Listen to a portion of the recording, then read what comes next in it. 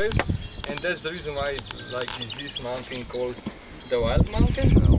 But uh, like you know, you were teaching yesterday. You know, you can see unicorns and something. Okay, maybe you can see wild men. You know, we have a really nice uh, film here in Slovenia. It's Kekec, it's called. It's like our national hero, this one, and he's always chased by the wild man Bedanec, it's called. You know, he was like half man and half wild man. Nobody can control them, but it's like really there were how many Kekecs? About four, I think, three. Three of them were filmed, and they were like the best movies of all time in Slovenia. Um, and uh, in modern times, in Velika Planina, they shoot in this year two films here. You know, one is on the national television, one is for German television. You know, they like it really nice because you can see it's really traditional and it's really like a nice energy here. Here you can see like um, it's like huts in They has to be all by the same. Um, they has to be like the same to be but these are a little more modern you can see it you know the on the doors you can see the the lockers you know it's modern or shouldn't be and you can see the cells you know sun cells in uh, 15 years ago when i started to came here no um, no hut has electricity no hut has nothing you know so it was really important that it was really like it was in old days um, all of these mountains are protected by the law and it has to be like architecture has to be uh, made like um, like everything like the same and they have to use as much as possible materials you know? But it's here the problem is so big that they cannot control everything so everybody has like something from the metal and so on. But like uh, it should be everything made out of the wood you know? Like it was uh, 400 or 500 years ago um, like you can see now we are um, using a little law you know that um, that um, everybody uh, who came to the mountains can sit in the front of the hut, you know. If it would be some uh, rain or fire or something, something wrong, we could break into the house and sleep there, you know. So it's like this law that everybody share the houses if it's necessary, you know. That means if you're in danger, you know. So um, here are we in the community of this mountain, I will tell you later um, how they are working together.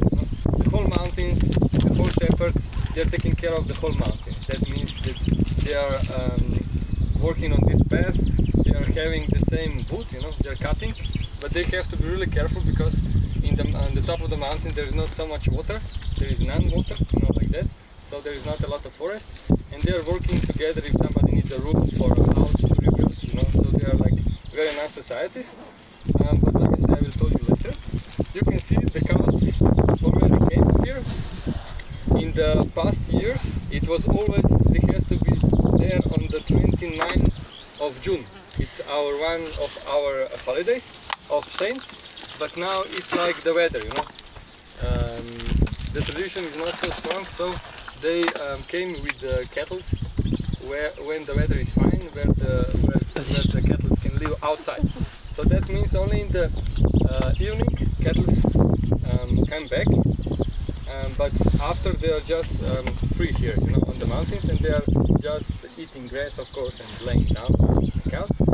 Um, but you will see when you will walk that they are separated these mountains with, with uh, fences, so uh, that um, anybody can know to which border can his cow go. You know? So every shepherd know his cow by the border, you know where is it, and by the bells. You will you will hear the bells, and um, say that. Uh, one cow is the leader and she has the, big, the biggest this bell so the shepherds can hear them you know because every bell is different so the shepherds know really good which is their cow, cow and which is um, their group of their, of the cows you know? so uh, now we'll go further it's like about we have 25 or half an hour you want to see how much how much here so uh, like the last, you know, we were now we are in the top, so it's no problem. You know? Go a little bit up and down, but it's like for the kids can do it, so you can do it.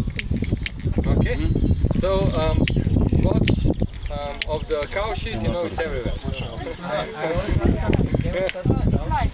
can you touch? Yes, but you can be you have to be careful as they have little little uh, cows. You know, they can be aggressive.